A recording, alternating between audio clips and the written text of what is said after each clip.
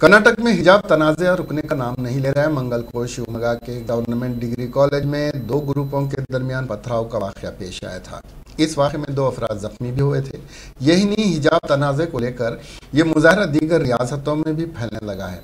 बढ़ते हुए एहतजाज को देखते हुए कर्नाटक हुकूमत ने तमाम तालीमी इदारों में तीन दिन की छुट्टी का ऐलान किया है। वहीं आज कर्नाटक हाईकोर्ट में हिजाब मामले की समात हुई। हिजाब तनाज़े पर कर्नाटक हाई कोर्ट में जस्टिस कृष्णा दीक्षित की सिंगल बेंच ने मामले को डिवीज़न बेंच को भेज दिया है।